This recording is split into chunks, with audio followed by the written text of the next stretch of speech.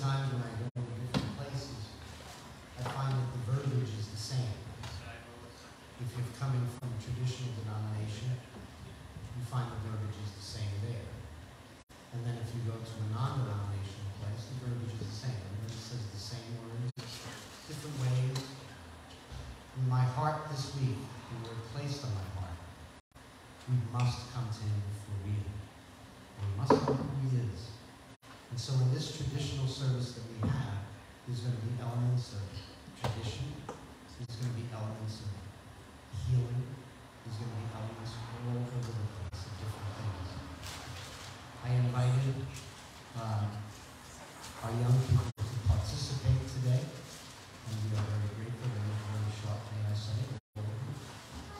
certinho, você tem que treinar e variar os riscos.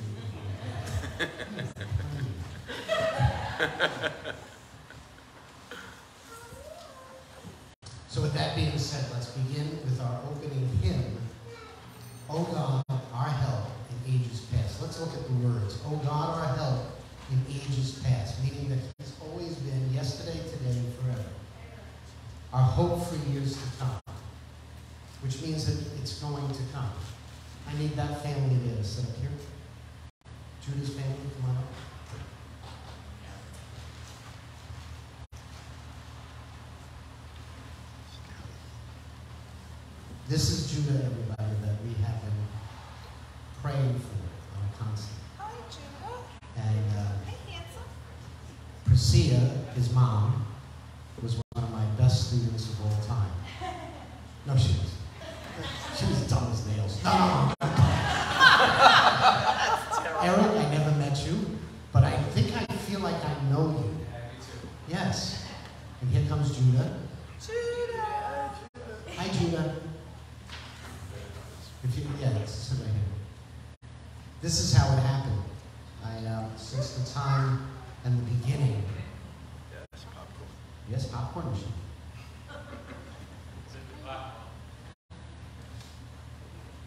When Judah got sick, it was the first time that I heard about it. Judah wasn't doing well. And I just kept on saying that my church is praying for you, my church is praying for you, hoping that one day Perceive would say to me, we need to come to the church. And just this week, she did that. I really feel is going to be a powerful service. But I need you not to look around and go, wait a minute, that's not supposed to be like that. That's the, I want you all to really get into the Spirit today. I really need the Holy Spirit here today. He's been battling me throughout the week. But you know what, Eric? After you posted something that you need Jesus now, you posted that. I, the Lord's just placed that.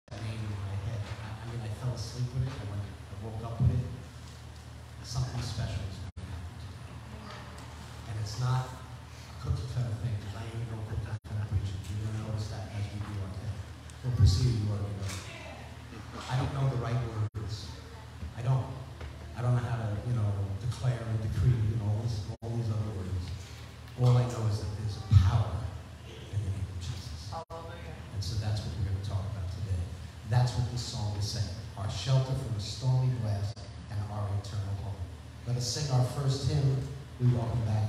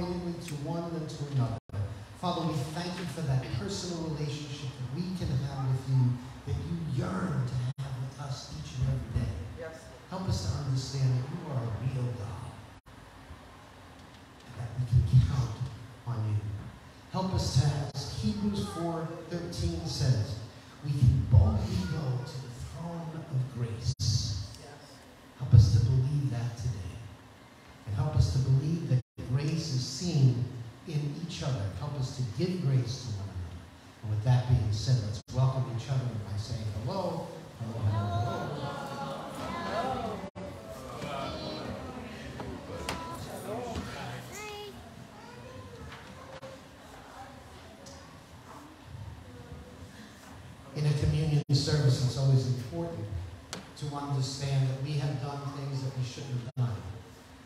And so we confess these sins, knowing that Christ already took care of them. So it's not like he's going, well, we need to confess that. It's already taken care of. We're all forgiven by the. But we need to remind ourselves of us of those things. So today, together, let's do our general confession and let us pray. We confess to you, Almighty God, Father, Son, and Holy Spirit, that we have sinned in thought, word, and deed. Make us truly contrite. Fill us with holy awe, and give us grace to amend our lives, according to your word, for the glory of your holy name. Through Jesus Christ our Lord. Amen. Together we pray the Lord's Prayer. Now we've been in the series of the Lord's Prayer, so I'm going to, for those of you that have been here, let's go through the first one. Our Father, we remember Abba. What is what does Abba mean? It's, it's like a, a daddy kind of person, right? Somebody that you just cuddle with. He yearns to be with his people and will never forsake us. Heaven? What do we say about heaven? What does Revelations 21 tell us? That the streets are made of gold. gold, which tells us, hey, what you think is important down there, we walk on it. And the bottom line is, that's where we'll all be. Let's continue. We talked about thy kingdom come, thy will be done. That it's his will that we need to yearn for and want. Sometimes our will doesn't match his will, and sometimes just step back and say, Lord, do it your way. And allow him to do that. Then give us this day our daily bread. Remember we talked about more than Enough. more than enough. That when we, we're not enough. We need to remember that. We're not going to have what we need. We don't have it all. But He is more than enough. And that's what we need to talk about. And we've talked about that. Forgive us our debts as we forgive our debtors. As we forgive, that's the way He's going to forgive? No. We forgive because we are forgiven. We forgive because we see that He has given us that mercy. And that's what He calls us to. Yeah, we're going to fall short. And yeah, it's going to be tough. And yeah, it's going to be hard. But you'll release it. And that's what we talked about last week, the root. Today we'll be talking about, and lead us not into temptation, but deliver us from evil. So together, let us pray the prayer with me. Our Father. Who art in heaven, hallowed be thy name. Thy kingdom come, thy will be done, on earth as it is in heaven. Give us this day our daily bread, and forgive us our debts, as we forgive our debtors. Lead us not into temptation, but deliver us from evil. For thine is the kingdom, and the power,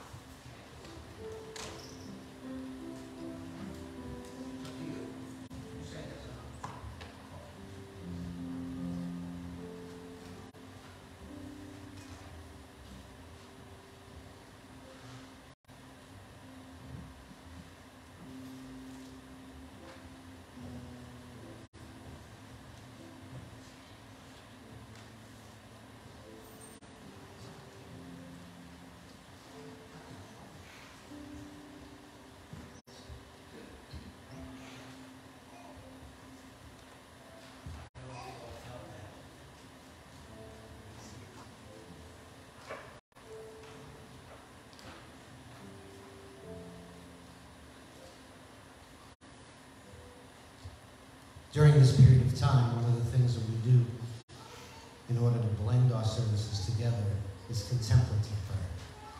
You know, we got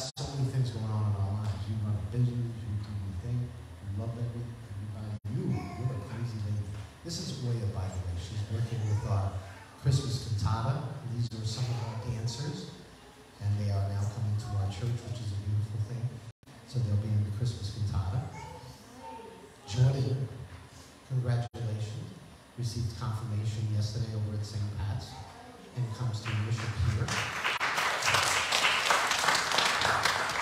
He looks very holy. I saw some of the pictures, and his hands are like this. was like, that's my. Walter is here. And he looks exactly like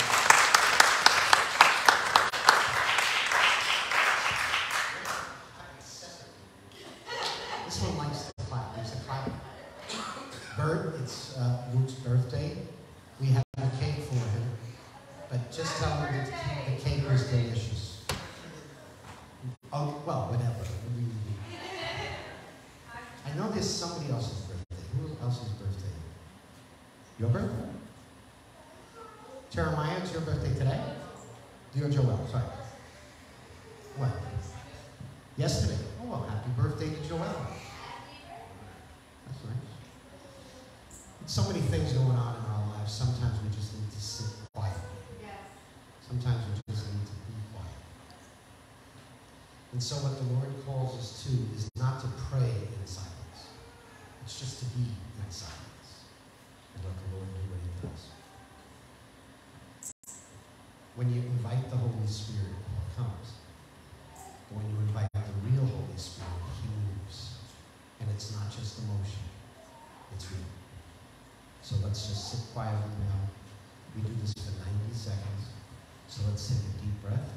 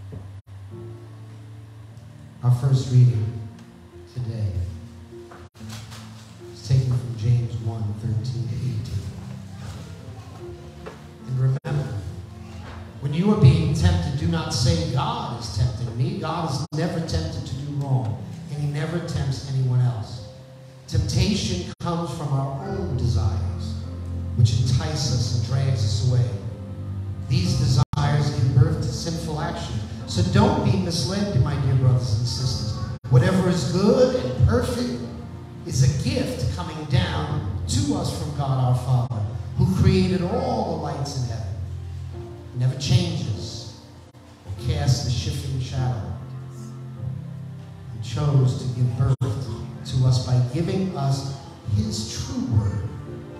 We, out of all creation, became his prized possession. This is the word of the Lord. His words are true, and it may be trusted.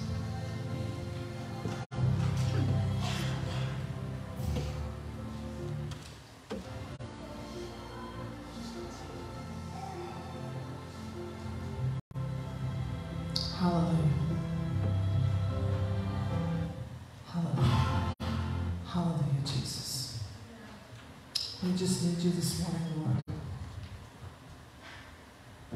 We stand before you this morning.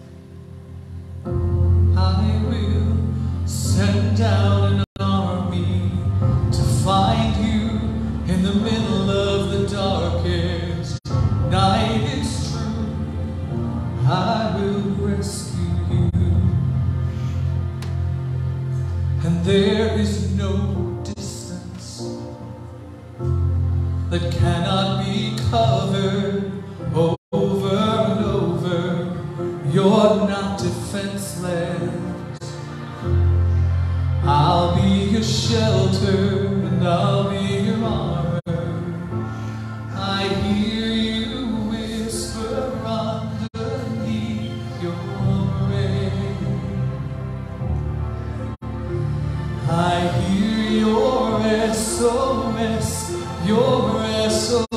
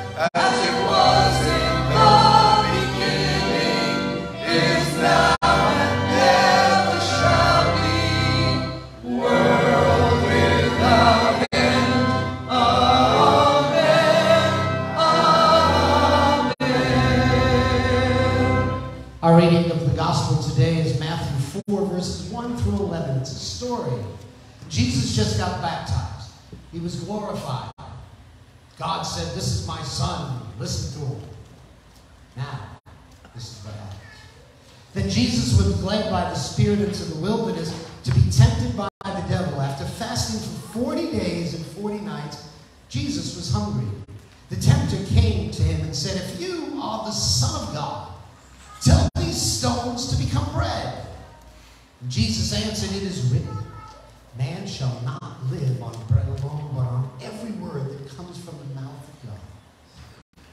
Then the devil took him to the holy city and had him stand on the highest point of the temple.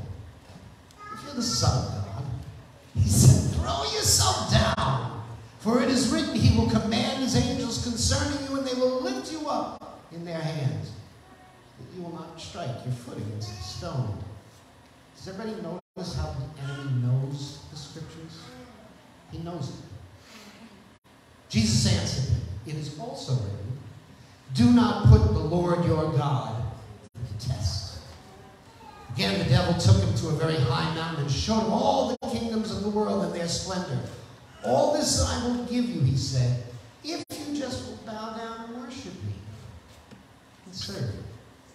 Jesus said to him, Away from me, Satan, for it is written, Worship the Lord your God and serve him only. Then the devil left. The angels came and attended to Jesus. This is the word of the Lord. Its words are true and may be trusted. You may be seated in the house of the Lord. This is the day that the Lord has made. We will rejoice and be glad. Amen. We're just going to recap a couple of things, and then we're going to get into the sermon. Let's recap what we've done so far as far as our prayer series. We talked at the beginning, the first thing that we talked about is when Jordan came up and he wrote this incredible, with incredible handwriting here, what it meant about prayer. And we said that prayer reminds us to rely less on us and more on God. Right? So when you pray, you're saying, God, I can't handle this. I got to give it to you. Next one, put things in perspective. Sometimes we are so bogged down with so many things in our lives that we get so overwhelmed by it. Prayer allows us to put things in its right, proper space. Next one, allows us to connect with the God that loves us unconditionally. Sometimes I'm not sure that we really understand how much God knows you and knows that right now you're wearing blue and you look so incredibly beautiful. This God knows you yesterday, today, what you're thinking now, and what you will think tomorrow. He is saying to you, I know you and I love you. Once we get to that place of that kind of real knowledge, the world is yours. And I mean that sincerely. Next one reminds us that we are eternal. We're all going to die someday. But we're all going to go to the place where the streets are paved in gold. And someday we will all understand all the things that we don't understand. All the things that happen that we don't get. He's adorable. You are so cute. Watching it. Wow. What's his name? I knew that. Eli. Show everybody Eli. Could you stand up and show everybody Eli? Staring at you. Look at Eli. Look at that face. Oh my goodness. Isn't he adorable? He's so cute. Thanks. He said he takes after his mom. Anyway. and finally, the series is called Lifeline. We all know what a lifeline is. My son and I were discussing it. Jody, what did we say a lifeline was? Do you remember? Uh, a rope A rope for safety. for safety. It's an anchor. It's something that holds you as you are either going through a storm or if it's getting crazy. It also leads you, correct? I can take the rope and pull you towards. Amen. Next one. The Lord's Prayer, we did that already. Let's move on. Today, watch out. The devil is a liar. And the bottom line here, I want you to notice a couple of things. What Walter read was a psalm that said we were needing him. We need him. Remember when David wrote those things, David was not doing too good. You know, David wasn't a great guy. And yet what he did is he tried to praise God and he was hoping for favor. You see, when we sing the Psalms, we don't do that to get God's favor. We do that because we got God's favor. And the bottom line here is what we're looking at is Jesus is saying to us, I go before you. I already went into that wilderness. We're going to talk a little bit about that. Remember the gospel. Can you go back to the gospel right from the first line?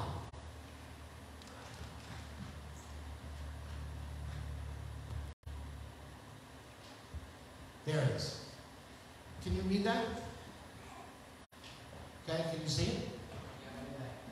Then Jesus was led by the Spirit into the wilderness. And Jesus was what? Was led, Was what? led Led. By who? by the Spirit Where you go? in the in the world in the wilderness. Wilderness. Jesus was led by the Spirit into the wilderness. We say, lead us not into temptation. How many of us are in that place of wilderness? Because that's the place where the enemy attacks. And I'm not just talking about sin. I mean, that's the place when the enemy says, it ain't going to happen. That's the place when the enemy says, you ain't good enough. That's the place where the enemy steals your identity as a child of God and says, You don't got what it takes. You can't make this happen.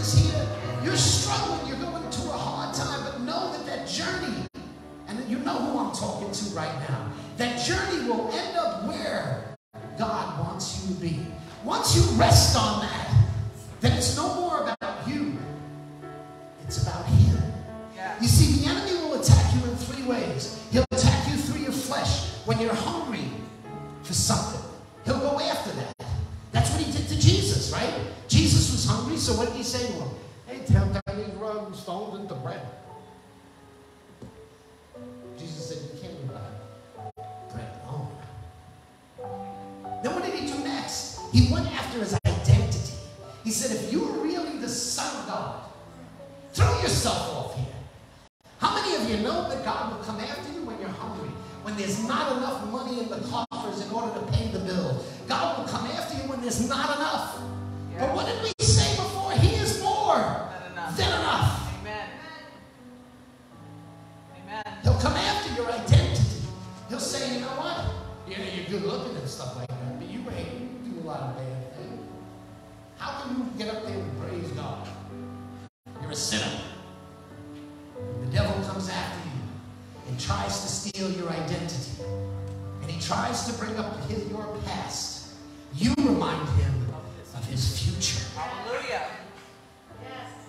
Finally, the devil will come to you and will say, You need this. I got you,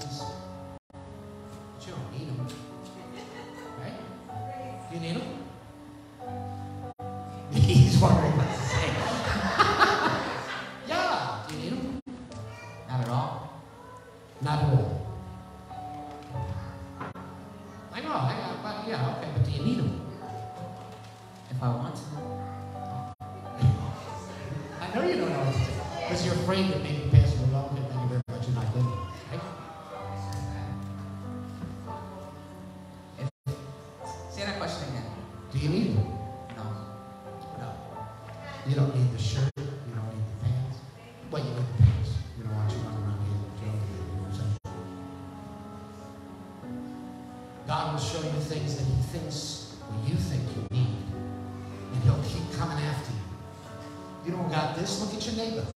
Comparison is one of the things that the enemy will use so that you can look at other people and say, I don't have what they know." Father God, I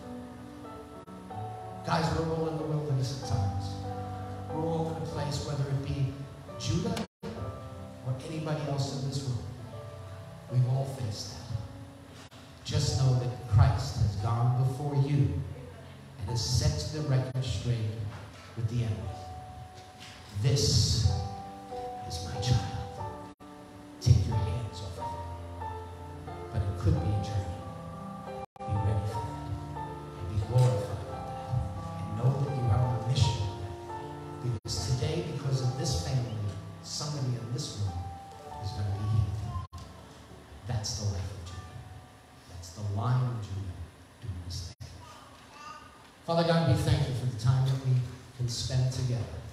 Help us to always remember that you are the triumph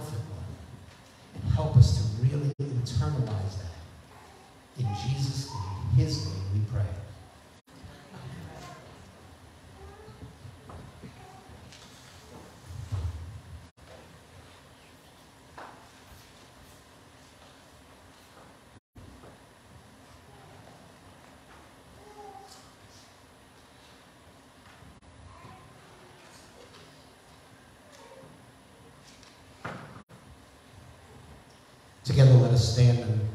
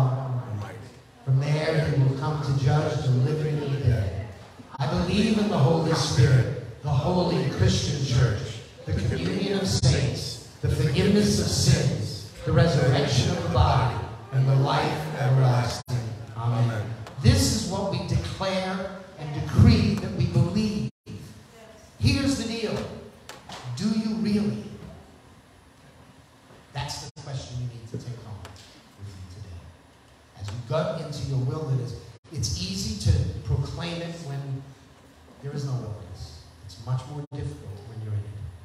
Father, help us to believe these words. I'd ask you to please be seated in the house of the Lord as we worship together through our offering. The way our offering is done is people walk down the aisles. He has two plates here. We just serve this way. Please follow our ushers, our usher. That's you, Lord.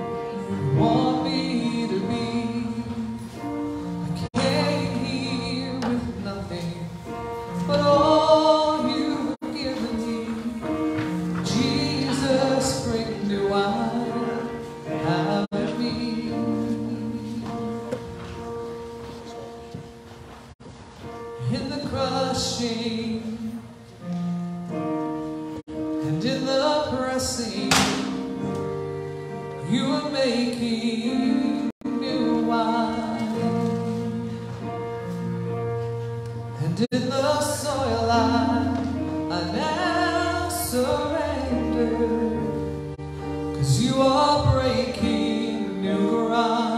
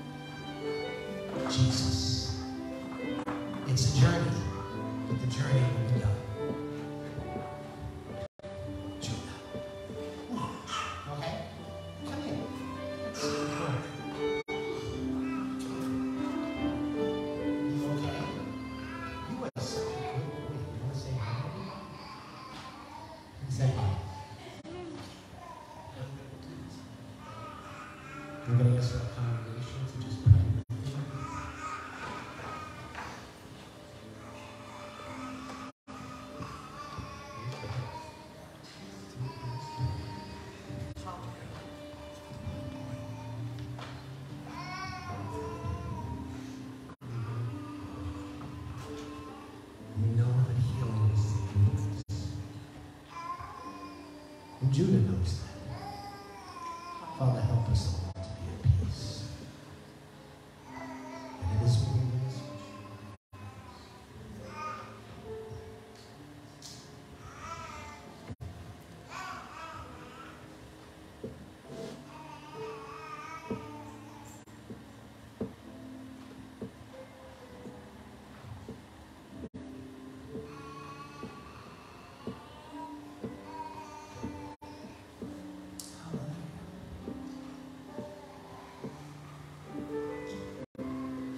just thank you, Lord, for your presence, Lord.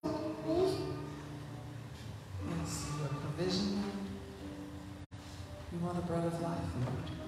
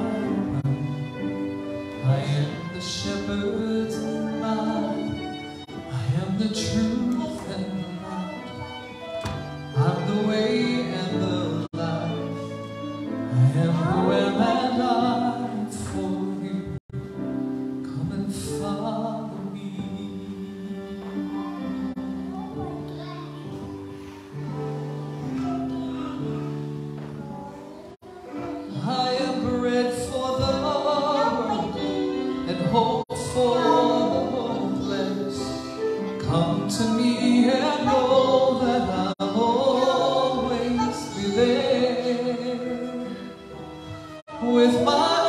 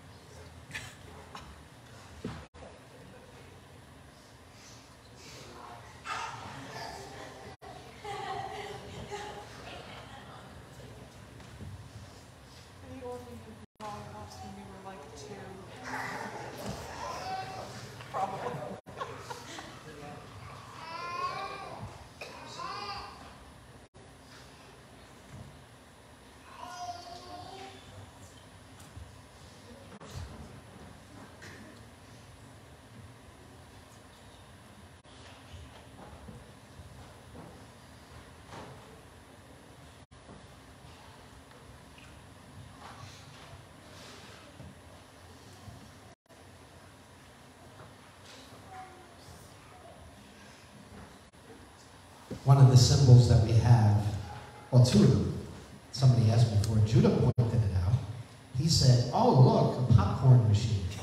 And if you're, if you haven't been coming to the series, or even if you have, just a reminder that a kernel goes into the popcorn machine and it is transformed.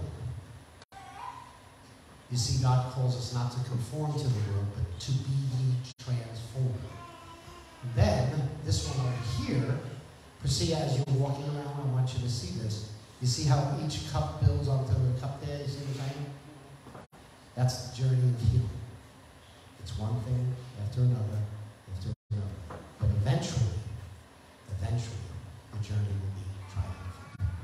Because you got the lion Judah on your side, the lion. Father God, we thank you for everybody that's here today. Lord God, we thank you for your blessings and your, your peace and your hope. In Jesus' name, amen. Just a, couple of announcements right after service today.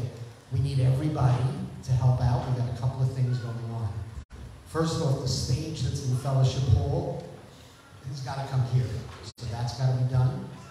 Gil's ready with all the equipment, and Bert's here, and we got so many other people here. So we need some help bringing it here. We need to take down the altar uh, so that the stage can come up to the front. Also, I don't know that Linda might need some help bringing this stuff around. Linda, is, do you need help today?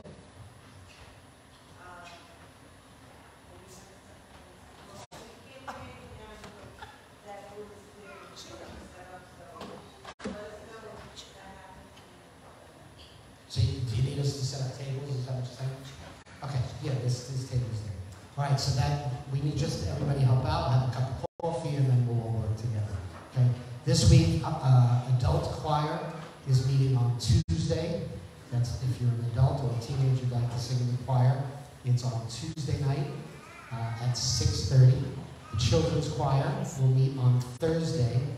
Um, so we're hoping, G, I want you there. You have to come and sing in the choir with us. Is that okay with you, Okay. So we're going to have a couple more people. Uh, that's Thursday night. We have dinner, followed by 7 o'clock is the um, choir rehearsal. And while the parents are in Bible study, the kids are singing. And it's glorious. So come on down this week. Next week, on the 12th, is our Christmas basket auction. Uh, please watch the bulletin, watch the flyer that I send the weekly, so that you know what's going on. With that being said, let us all rise for the final.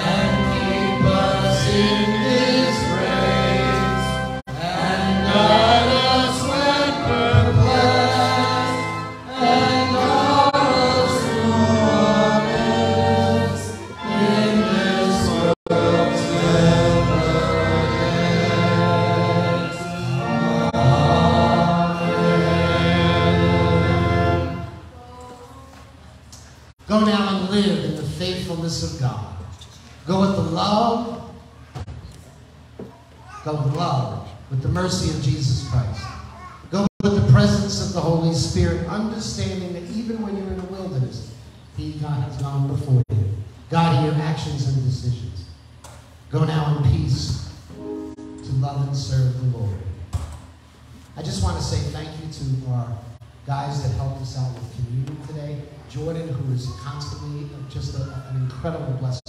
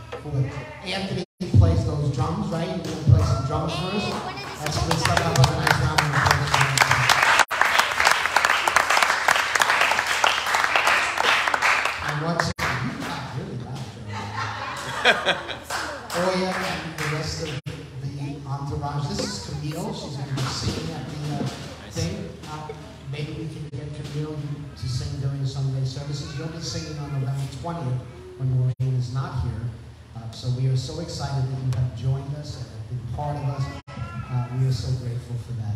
And we thank everybody else that's here today. God bless you. God bless you. God bless you. God is good, amen? Let's go out praising God and giving him glory today.